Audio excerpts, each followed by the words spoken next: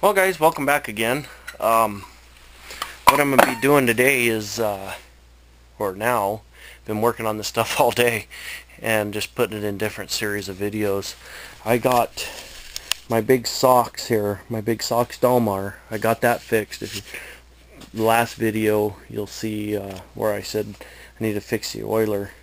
Um, well today I'm going to talk about my Alaskan sawmills. I actually have three different ones that I've purchased and uh, that that there is my 36 inch uh, sawmill. And then I have right here is is one called an uh, the mini mill. It's an I call it an edger saw goes in it this way and you push it along this track. Uh, you know you bolt this down to the you bolt this 2x6 down to the flat side of the log after after you take your first cut. But uh, you'll see more of that on uh, Saturday night or Sunday after I post the video what we do on on Saturday.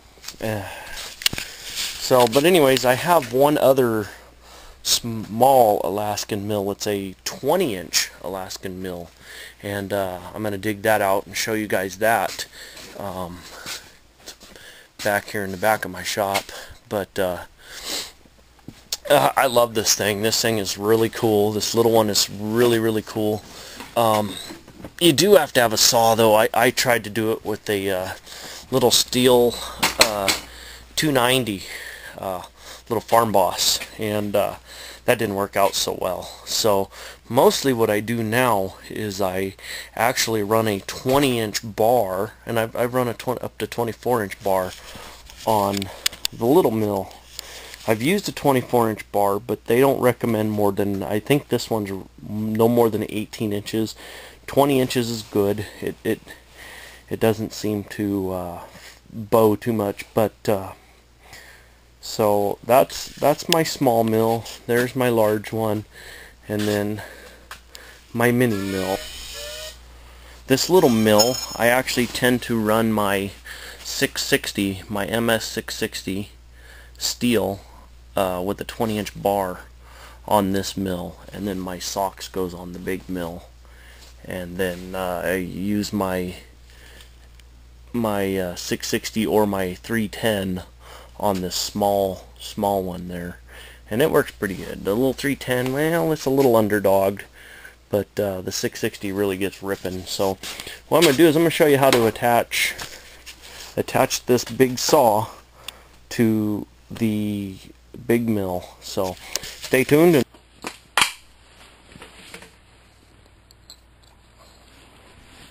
alright so here we go. This side as you can see has these curved pieces here this side doesn't. Um, and that's because the saw goes in this way. Now typically uh, the Alaskan mill people they recommend that you uh, take your log dogs off your your buck spikes or what have you. They recommend you take those off and you can get a couple inches more out of it. I don't really worry about it too much because I'll, take them off if I get into something that I need more saw for. So, but I'm going to go ahead and put this on just like this.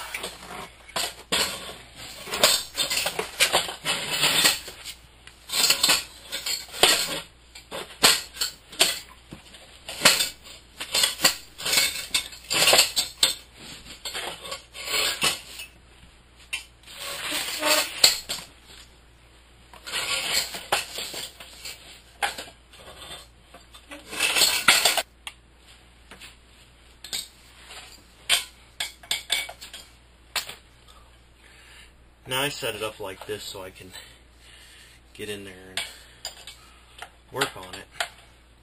So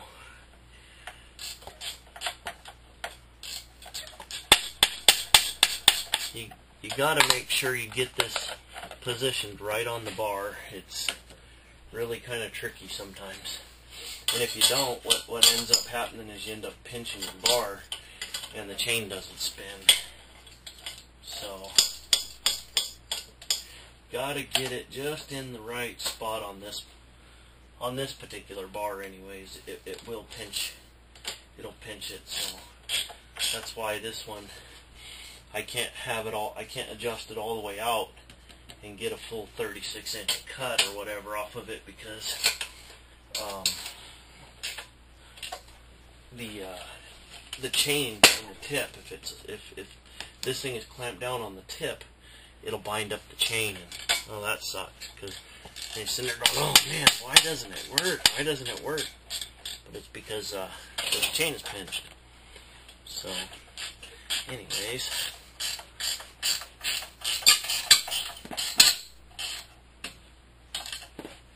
Gonna do them fair you know you gotta get them down fairly tight so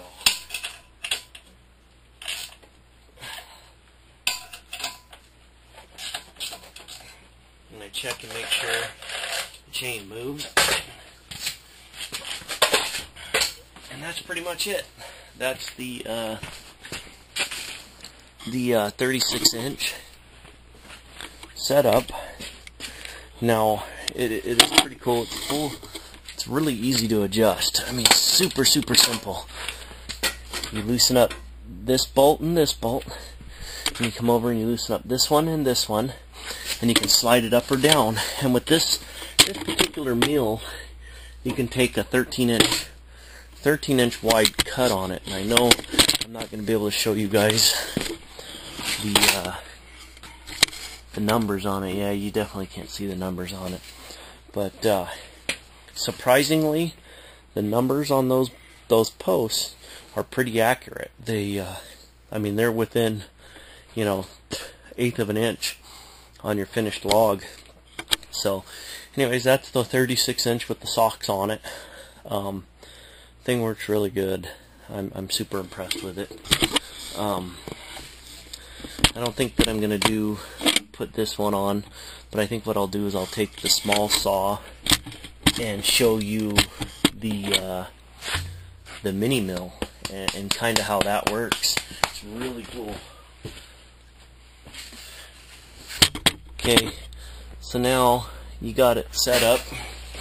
You take your saw and you put it in, kind of the same as as the other one, and you can you can adjust it now. Now me, I prefer to have the saw back like at an angle like this, and then I clamp it in per se. Just I usually have the 20 inch bar on it because this 24 inch bar is just most of the time too much for the stuff I cut out here. So I, I tend to tip it like this because it uh, tends to cut a lot faster that way. And I've seen, you know, I've used it straight up and down because I've had to, you know, and, and I've uh, I've actually used it where it was kind of like like this, and this works very well too. I just don't like to um, be so far leaned over like this over the saw with it so close to my leg that doesn't work out very well for me. I just don't want to don't want to whack my leg. So anyways, that's that's the mini mill. And then you just run it down the track. Now if you're if you're thinking about getting into milling like this, um Alright, so if you're uh, if you're thinking about getting into chainsaw milling, I'll tell you it's really fun. Um, it's labor intensive. It's, it's a lot of work. Um, but like my uncle says, it's a, it's a labor of love. We love to cut the wood, um, make make all kinds of stuff. My uncle uses a lot for furniture, uh, all kinds of stuff. Uh, me, I don't so much do much with it. I, I, I really don't care to work with wood. I will if I have to, but I really just like to cut the wood. It, it's uh, it's a lot of fun. But um, so you know, and, and I've actually taken these saws, and I've actually made quite a bit of money with them. Um, I've had people call me and and uh, want me to come down to their property, and it's a real remote area. They can't get nothing down there to drag these logs out. Getting a bandsaw mill down there is just impossible. So what we've done is is basically I've gone in with my peavey to roll the log and uh, two saws and my mills, my mini mill and my uh, big mill or my little mill, and I've, I've taken and I've squared up the logs and made them much more easier to handle, where maybe two people could get in there and pull them out or stuff like that. And I, I've made, you know, like I said, quite a bit of money with it, and but man, it's a labor of of love. So, anyways, um, thanks for checking it out. I know it's kind of just a quick video. There's no milling in it today. Um, Saturday there will be, so check back Saturday night, Sunday morning. Um, I'm gonna be milling on Saturday, and I'll probably be milling a lot on Sunday as well. Um, um, some Sawyer work. Um, but so for now, the plan is to to go up maybe tomorrow or Friday and fell the trees, and then Saturday to mill them up. So, but I'll keep you posted on it. And uh, like I said, please rate the video, please subscribe, um, check back for more. Uh, I got all kinds of cool projects going on uh, this spring, so I hope you guys enjoy it. Uh, I just I'm having a lot of fun making these videos. I've never done it before. I, I've had a YouTube account for some time, but I've never made a video until about two weeks ago. So it's been a lot of fun. I think I've got 15, 16 subscribers right now. So keep that up, guys. Um. But anyways, take care, guys. Have a good night, and uh, we'll see you maybe tomorrow.